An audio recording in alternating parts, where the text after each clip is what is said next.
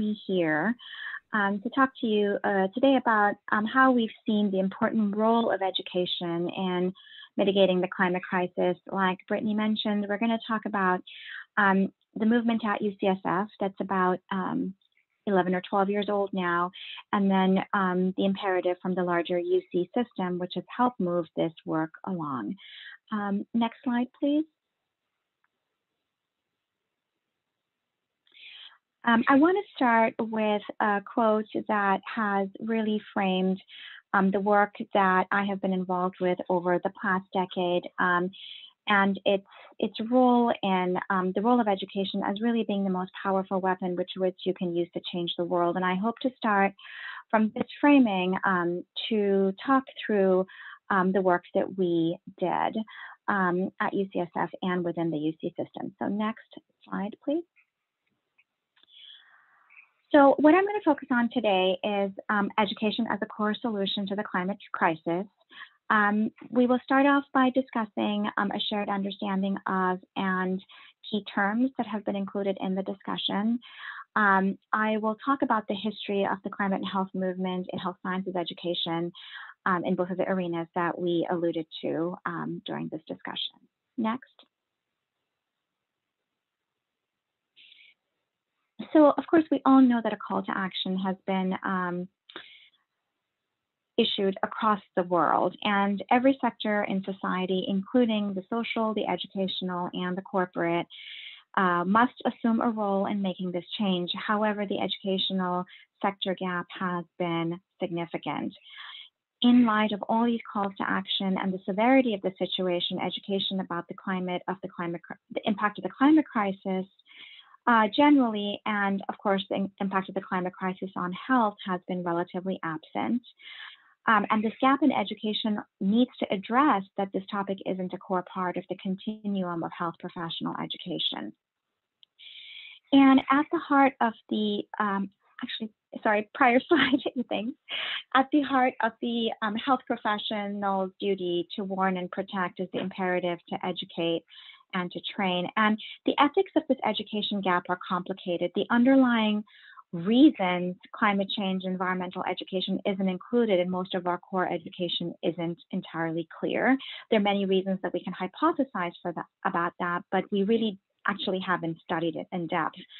And on the health science education front, what is clear is that physicians, nurses, and other health professionals will need to bear responsibility for spearheading the efforts to care for patients who will suffer from the impact of the climate crisis and to reduce the healthcare environment um, footprint.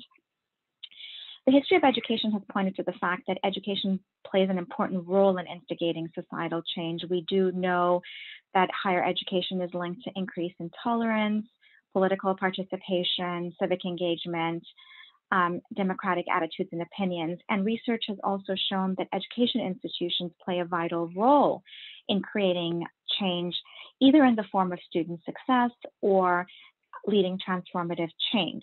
And so inclusion of climate change curricula into health professions fosters the education that will promote critical thinking, participation in global health and sustainability initiatives, multidisciplinary perspectives, and public health literacy, which are all essential skills in this rapidly changing environment.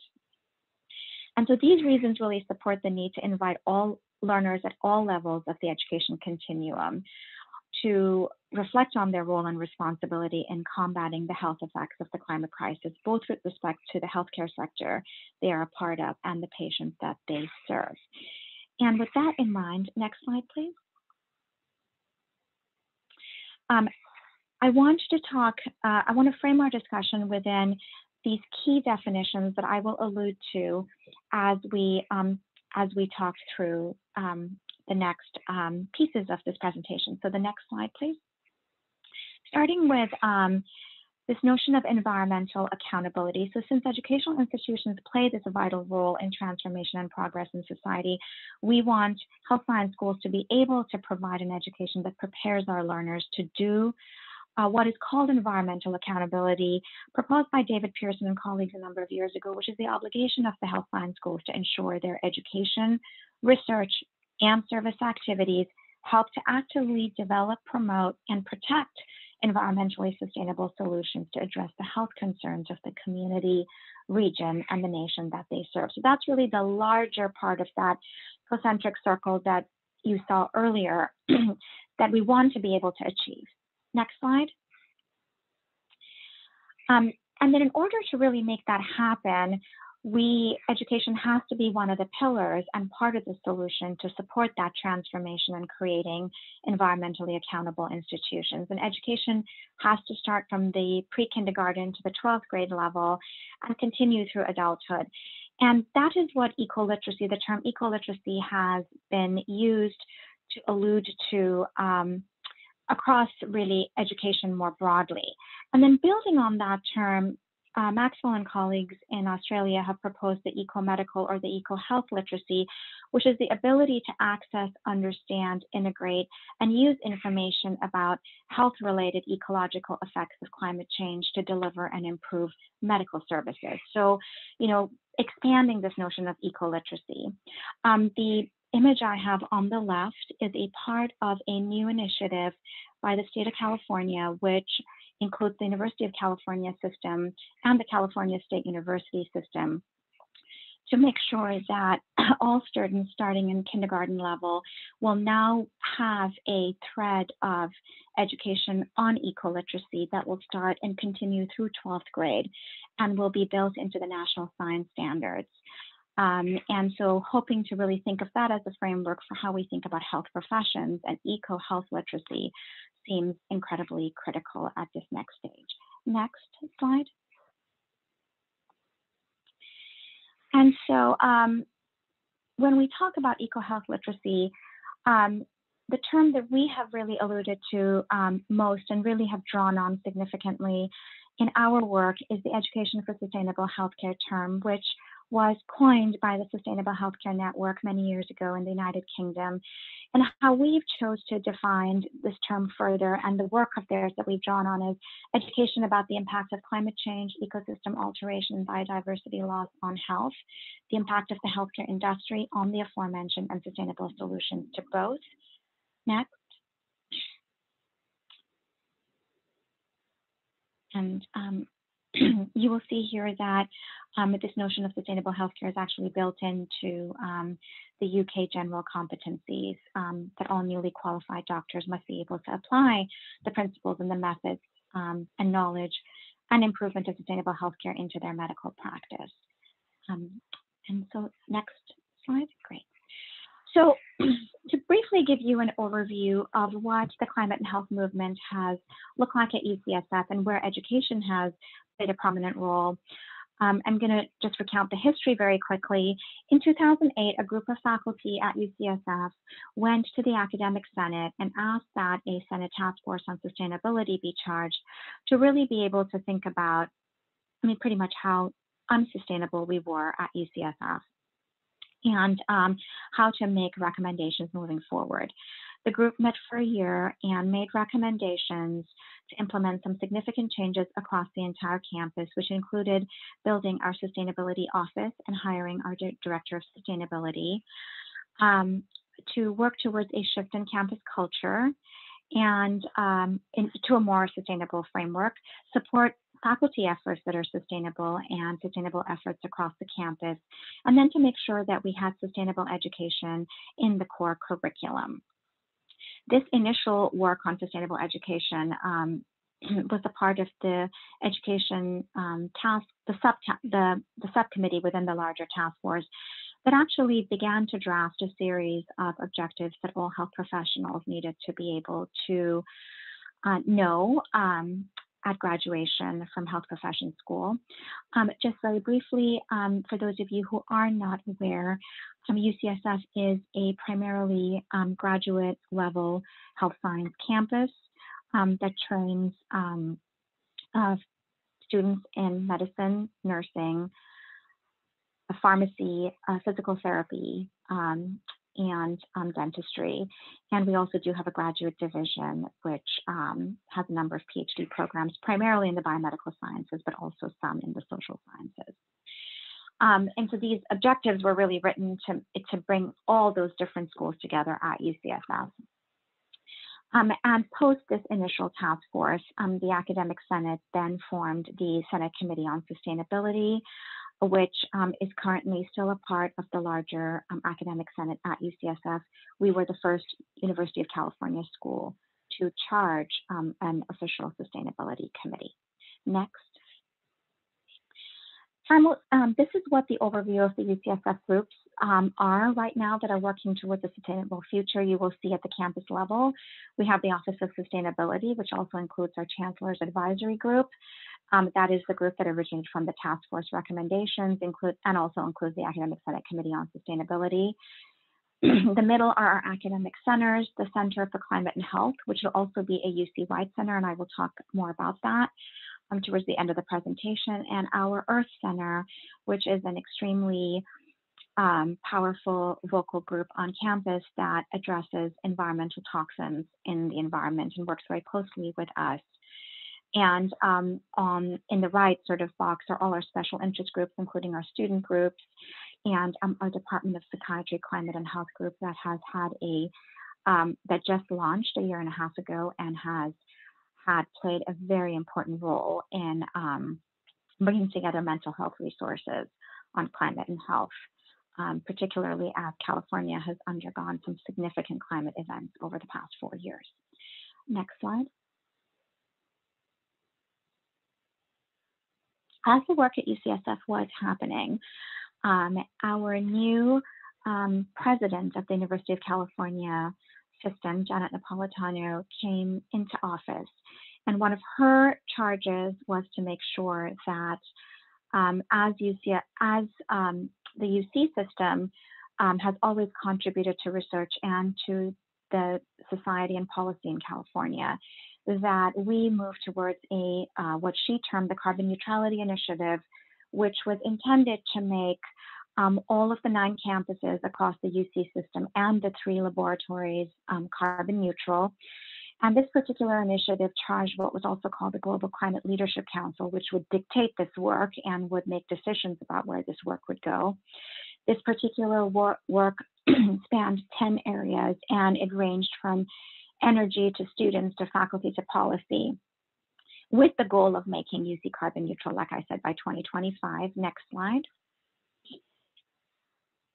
And this is what the initiative has looked like. And you can see that these 10 areas that were charged all work closely together, all report up to the Global Climate Leadership Council, and really touch every aspect of the University of California system's work um, from policy to energy to students to finance um, and the faculty engagement and education.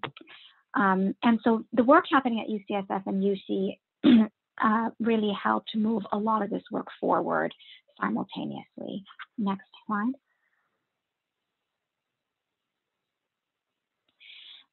so as we began to develop out our work, uh, we focused on, we felt it was important to focus on, on the spheres of change and this continuum in health sciences education, starting with our health science learners. And we, of course, began there because we already had begun that work at UCSF with the task force in 2008 and uh, really wanted to make sure we had a robust system for um, educating our learners.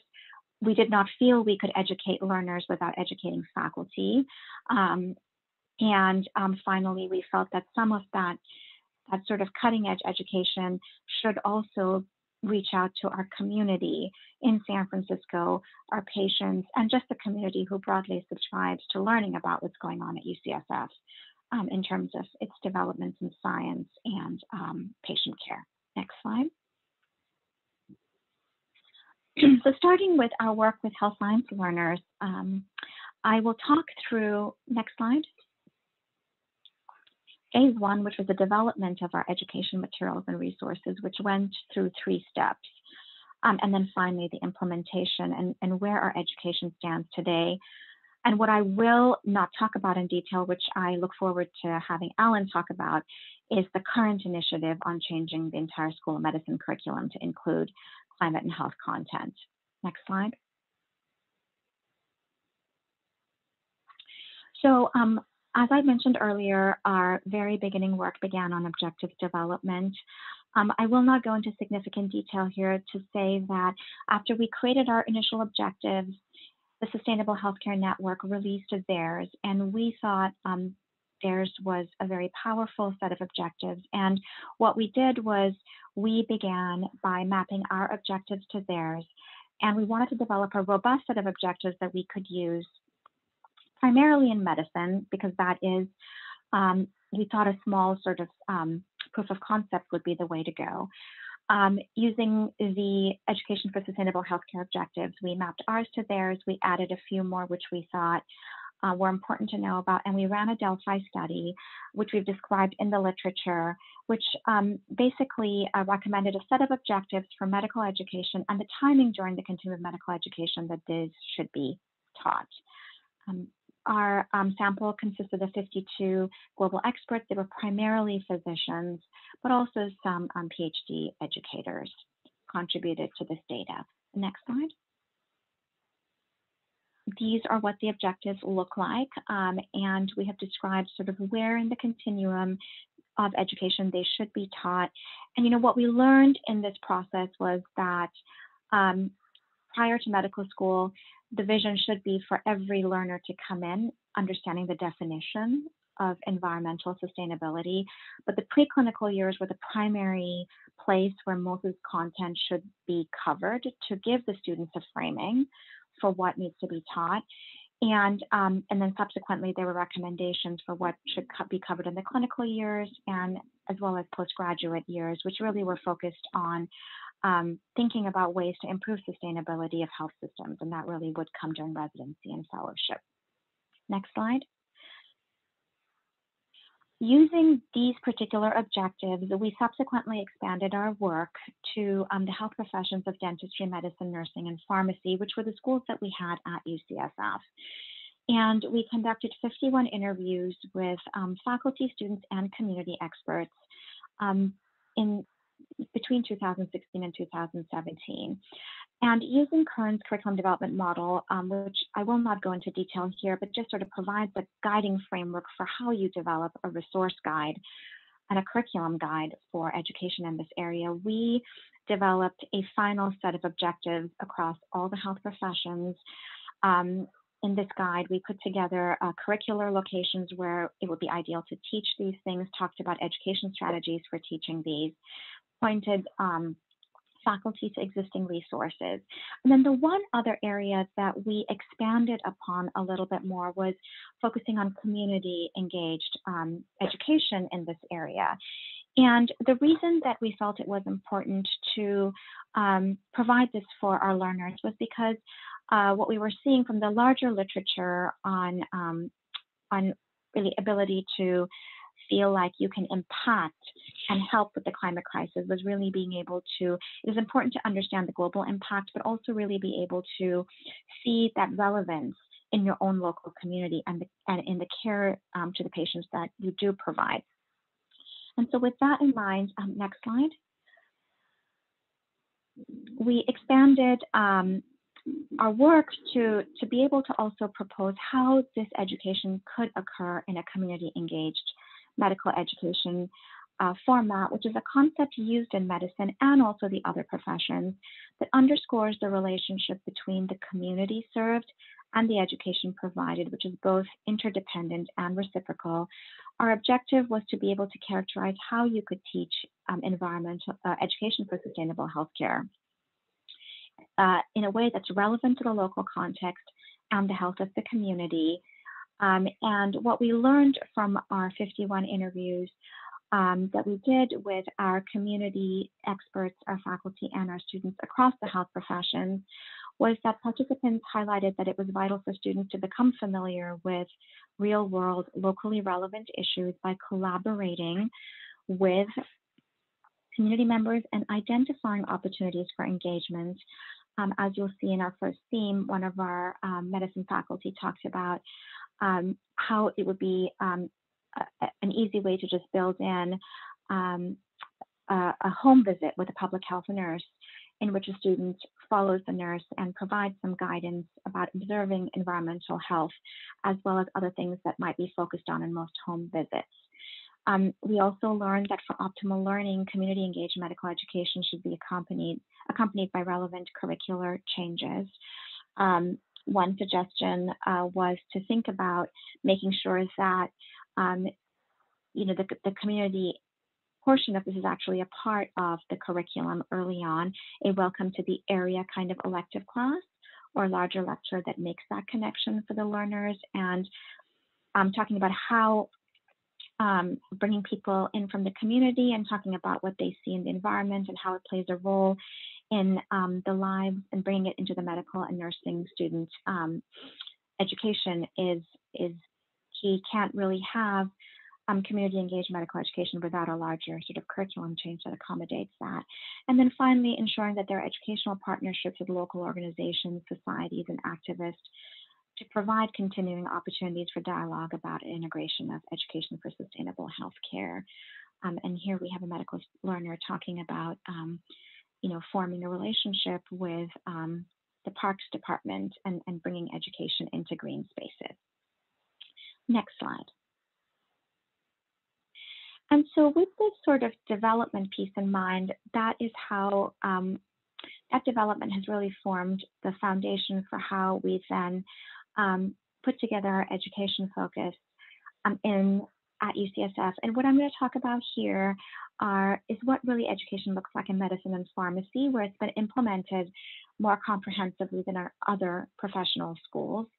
Um, the other professional schools have also implemented some of this, um, but it's not, um, there isn't as much core education. And I'm happy to talk more about that separately for those who are interested. But um, in medicine and pharmacy right now, we currently have a student selected in which we uh, cover climate and health. And by selective, I mean that this is actually a uh, core course that is offered in the first year in which students, as a part of their larger, what we call our inquiry curriculum, but it's really an evidence-based medicine curriculum, are able to go in um, in the January of their first year and pick a series of courses that really touch upon topics that are on the cutting edge of science.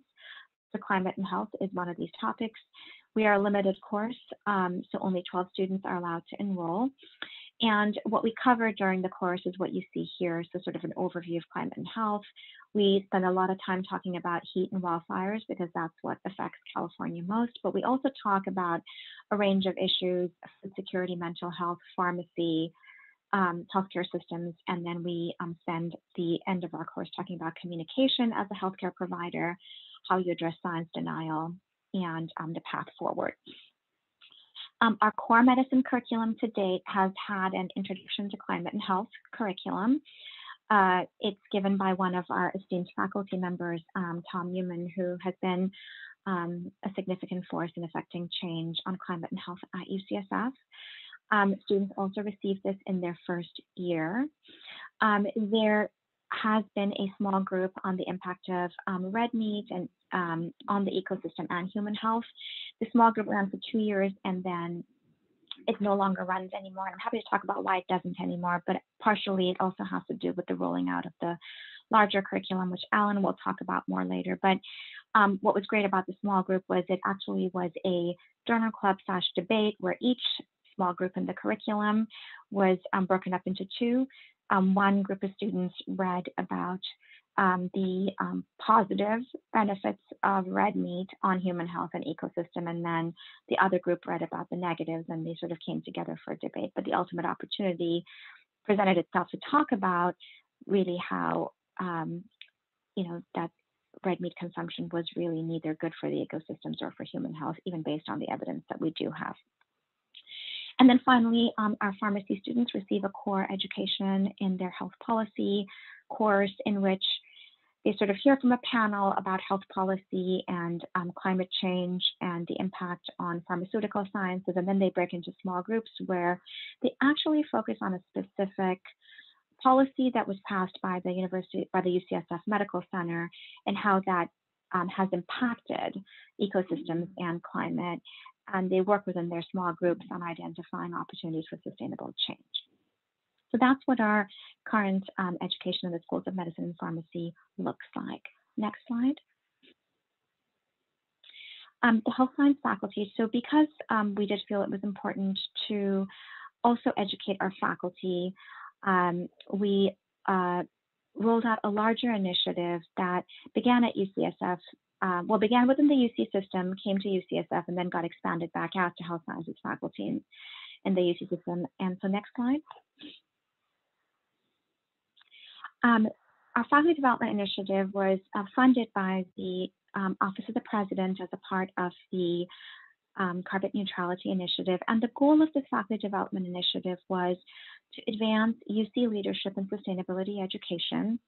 We wanted to make sure that we educated and engaged, supported, and inspired health science faculty members to be able to teach about um, education for sustainable healthcare in their ongoing teaching.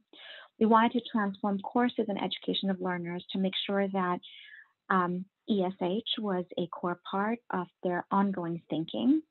We wanted to be able to reach beyond students for whom sustainability was a focus. Um, our health professional students are not all engaged in this work, um, but they do need to understand that sustainability is a part of their ongoing um, careers moving forward. And we wanted to be able to build a community of faculty members who would continue to engage in dialogue and best practices and improvement of education for sustainable healthcare. Next slide. Um, I just wanted to say that our work actually built off the transformation of non-health science courses in the UC system, which dated back to 2016, that employed the same model to change um, education across our nine UC schools, but primarily in education um, I'm sorry, the, at the undergraduate and the graduate level, and with a focus simply on climate change. Um, and these were the kind of courses that you see that were shifted across the UC system, courses in humanities, um, courses on building cities, economics courses, and law and policy. And when this initiative actually rolled out in the larger UC system in, in 2016, because UCSF was the only campus that had a sole health science focus, we tailored our education to focus on climate change and health, which made us slightly different from the other UC schools. Next slide. So what did this training look like? So we rolled the training out um, with the focus on, um, on, on, really three things. We covered, um, we wanted to make sure our faculty understood um, the basics of uh, climate and ecosystem change. Um, we wanted to make sure that they understood the impacts on health. And then we wanted to make sure they understood um, key education advances in how to teach about climate and health. Um, we, we utilized the train the trainer model in which we um, at, at, six of our UC Health Science campus. So we are a nine system, um, we are a nine school system, but we only have six health sciences schools within those nine schools. And so we brought all those schools together. We trained two faculty trainers per campus in which we uh, provided them with the resources and the training to then be able to go back and teach about these three areas that I talked about uh, to 20 faculty members per campus. Um, the train the train the workshop happened at UCSF, and then the faculty went back to their individual workshop, individual campuses, and recruited 20 additional faculty members who were interested in infusing climate and health into their teaching. Um, who then went ahead and did that.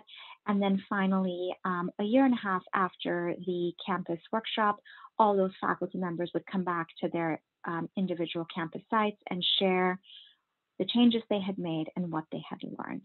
Next slide.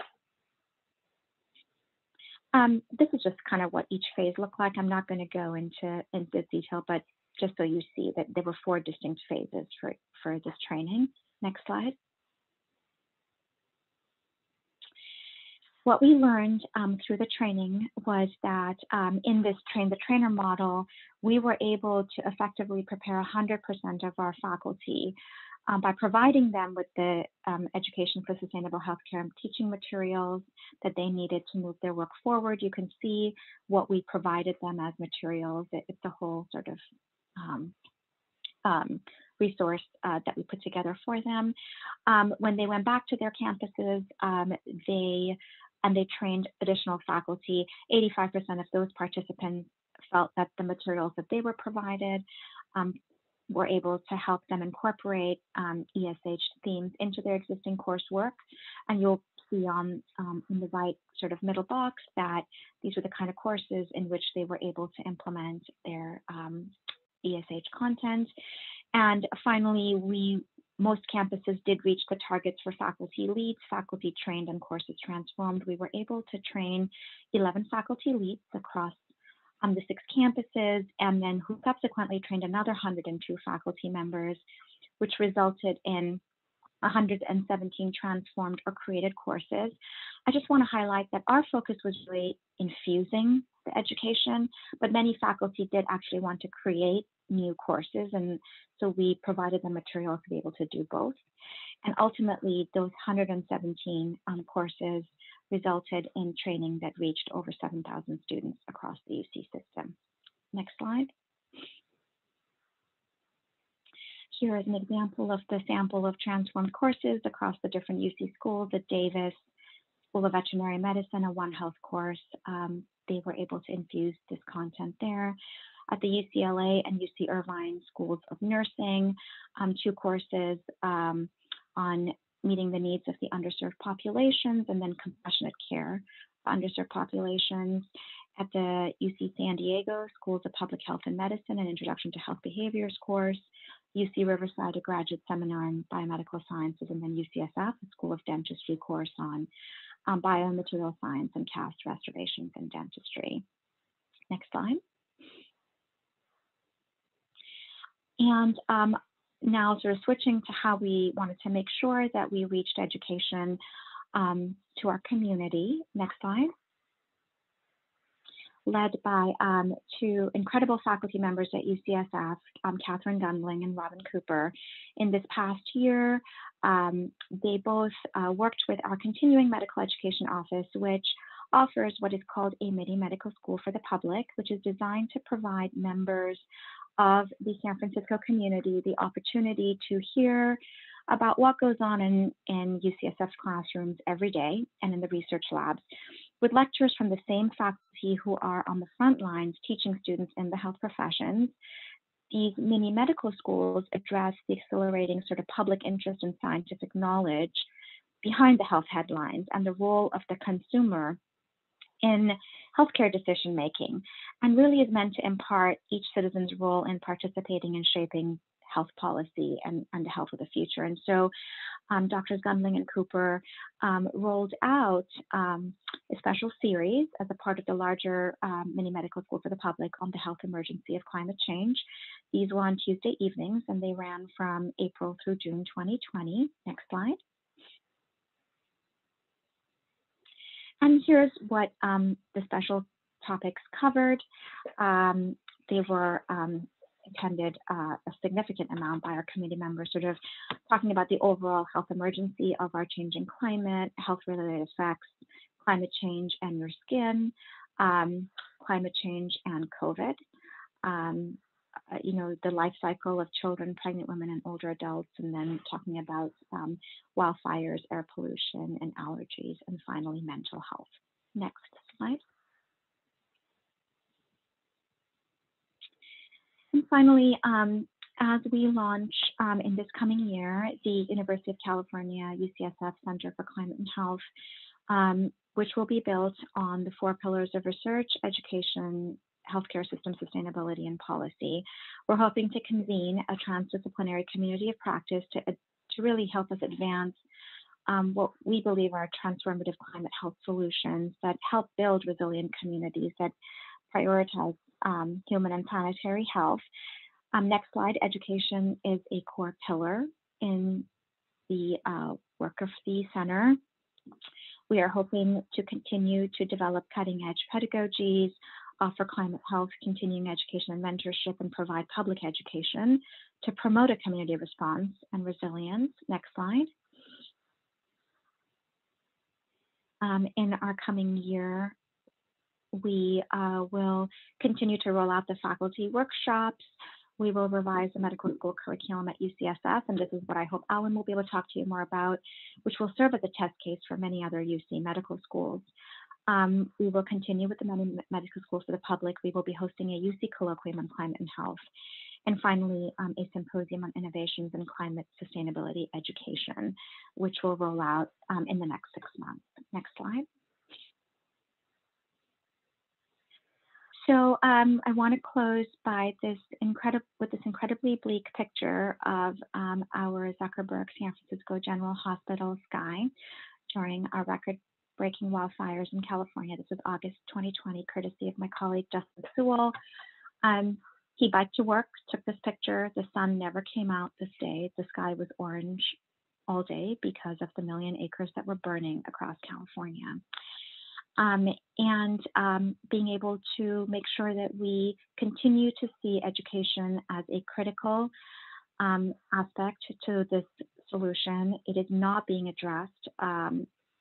We know this uh, clearly from the work that was done by Caroline Wellbery and um, Perry Sheffield, looking at all the medical schools across the US. Um, we do require a multi-pronged and multi-level approach.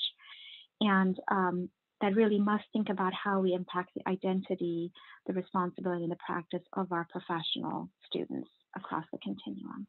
Next slide.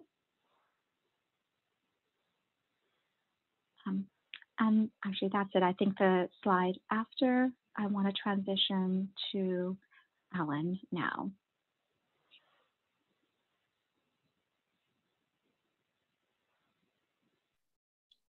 Perfect. Uh, thank you so much for your talk, Dr. Teherani, and thank you so much for providing the context for, for my talk. Um, hey everyone, thank you so much for having me today. My name is Allan, I'm a second year medical student at UCSF, and I'm really excited to share a little bit about my involvement with climate change curriculum at UCSF, and also discuss some of the reasons that I think student involvement is really critical for any successful climate change initiative. Um, next slide to give you a little bit more context, I wanted to start by uh, just telling you all how I got involved with this work. My first introduction to student engagement with climate change work at UCSF was actually during our activities fair in the fall of my first year. I stumbled across Human Health and Climate Change, UCSF student run climate change group, and I was immediately captured by the radiant personalities and the crisis that brought them together. Over the course of the year, I got more and more involved with this group. We hosted events, we attended rallies like the Youth Led Climate March that's pictured there, and we discussed climate related issues at UCSF. And if you go on to the next slide, one of the things that we actually talked about a lot was the scene pictured here, which is a picture of the skies in San Francisco in fall of 2018, when the state had some of its worst wildfires in uh, its history and also had the worst air quality in the world.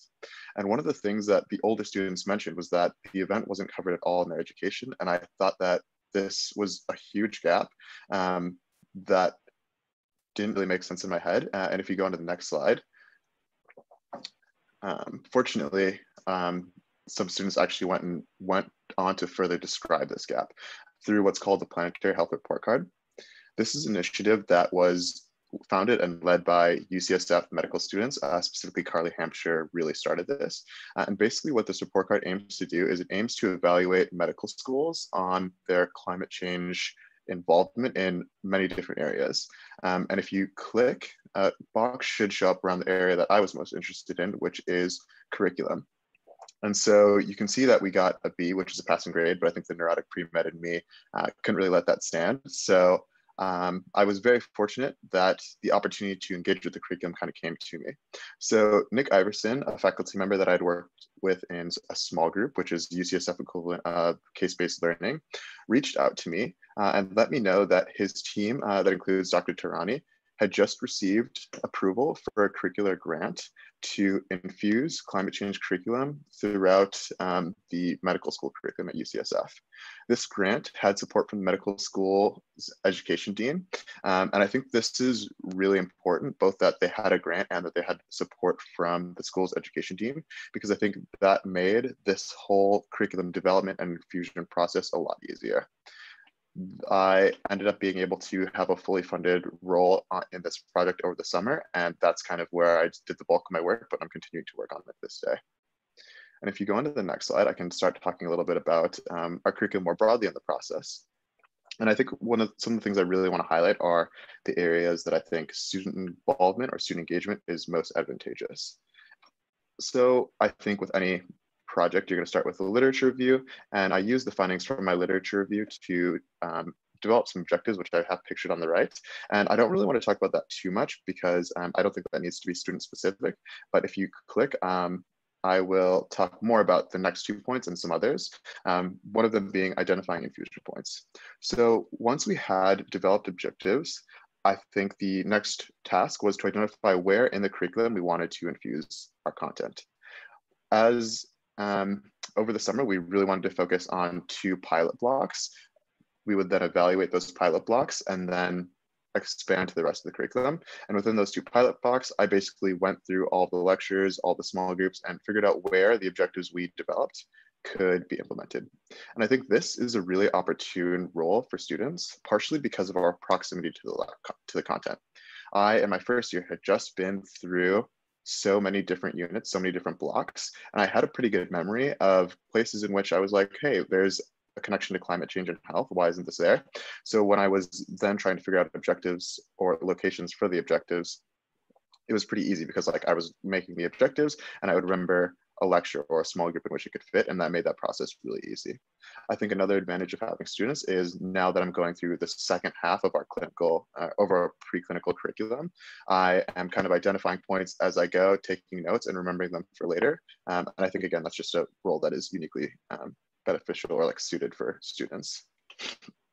The next thing that we ended up needing to do was just reach out to course directors. So again, with that document on the right, you can see we have our objective, um, the places that we think it could be incorporated and some references. So we basically would send that document to the course directors saying, hey, we're interested in using this content. This is where we think it can go. This is what we want to teach. What do you think? And it's um, usually got really positive responses. I mean, sometimes I would send the initial email and wouldn't get a response for a while. So I'd have to um, get somebody with doctor in front of their name to send the second email, and that usually usually got a response. Um, but the responses were generally overwhelmingly positive.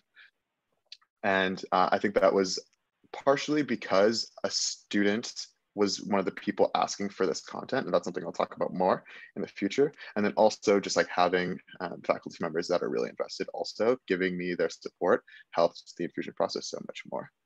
And so again we started with our content in two different blocks and the course directors were open to infusing that into um, their blocks once they saw our proposal if you go on to the next slide, I'll talk a little bit more about content development and then the actual integration. So we then uh, worked with the course directors and the specific faculty that would be delivering the lectures on the objectives. And once we had finalized the objectives, we would develop slides and specific points that we could provide to the lecturers so that they could, they could use in their lectures. The lecturers are so busy and I wanted to make sure that the burden on them was as light as possible. And that's why I took on the burden of kind of creating the slides. Uh, and we then would go over them together to make sure that they fit in their style. And I think that students again are really well equipped for this role one because we were recently in those lectures we have an idea of the lecture's style um, and also we have an idea of what the students will want to hear and how they'll want to hear it after we ended up developing the content we just needed to formally integrate it and that um, was basically another point where I think students are really well equipped. Once we, again, revise all the slides with the faculty's help, students are then really able to get, I think, some of the most genuine real-time feedback from their peers. For example, um, some of the slides that we integrated this year are on the right, and it was actually really exciting when these first were rolled out because I had a few first-year students reach out to me saying that they saw our content and either really loved it or really liked it and had some constructive feedback. So I think that's um, a really beneficial role of students, again, because we're so close in um, kind of proximity to the first years of the people that are learning this, we'll be able to get a lot of really good feedback. And that's our general process. There's obviously a lot to go. Um, and at this point, we've really just infused our content into, um, and sorry, we got a question in the chat. Okay, yeah, uh, I will definitely send some of these slides over. Uh, but at this point, we've infused our content into lectures into two different units. Um, and again, I've included some of that sampled content on the right. And our immediate goal right now is to just reach out to other course directors to expand this curriculum throughout all the blocks while it's been pretty successful, uh, I have to acknowledge that we weren't able to do everything that we sought out to do this year. For example, we weren't able to incorporate our content into the small groups, which is UCSF's version of case-based learning. And that's partially due to space restraints and also partially due to um, some other curricular initiatives that are going on at UCSF. But that's something that we definitely want to do in the future because we think that getting students in small groups discussing this content and working with each other is going to be some of the best ways to really help them cement it. Some other things that we really want to do in the short term is um, like I said, infuse this content into every other block rather than just the two that we started with, and also figure out effective ways to evaluate the curriculum. We had developed some surveys that we were planning on sending out to all the students, but based on uh, the lack of ability to incorporate this content into small groups, we thought we should wait until we have um, just more, more content to evaluate um, before we send out the surveys, but we'll still be doing um, some evaluation method. We just need to figure that out in the long term, I think some of our goals are going to be to incorporate this content into both the clinical years and into a quality quality improvement project. Every medical student at UCSF has to do a QI project, and we think this is an especially um, suitable area for some climate infusion. How what that'll look like, we're still figuring out, but I think it's a really exciting area that we can work in the last thing I'll say before moving on is that uh, having students during the process helps a lot, but I think it's even more powerful in getting the process started. The curriculum's already so packed, as we all know, and the deans are super busy. But if you have a team of students or have a team containing students that says, we want this curriculum and we're willing to work on it, I think you'll have a much easier time getting your project off the ground. And to close, I just want to kind of share quickly why I think this content is so important. So if you can go on to the next slide. First slide uh, from the CDC is just um, kind of pointing out the obvious. Climate change is going to have a lot of effects on the health of our patients. And I think we're obligated to train physicians that understand the changes that are affecting our patients and are able to treat them. If you go on to the next slide. I think the other really important reason that we need to educate medical students is because the medical system is such a huge contributor to the problem. And if students don't know that, they can't do anything about it. But if students do know that, then they can begin to acknowledge the health system's impact and also start developing solutions to reduce it. And then the last thing uh, on the next slide is that um, I think education, especially about the health implications of climate change is essential for increasing physician activism in the climate space. I think we're really privileged to hold such highly respected positions in society as physicians and as healthcare workers. Um, people listen to our voices, and I think that producing a generation of climate conscious physicians has the potential to um, add a lot of momentum to the movement. Uh, and here you can see just a few examples of um, healthcare workers using their voices to um, bringing attention to the climate crisis. And that's all I had for today. Thank you so much. And if anyone has questions,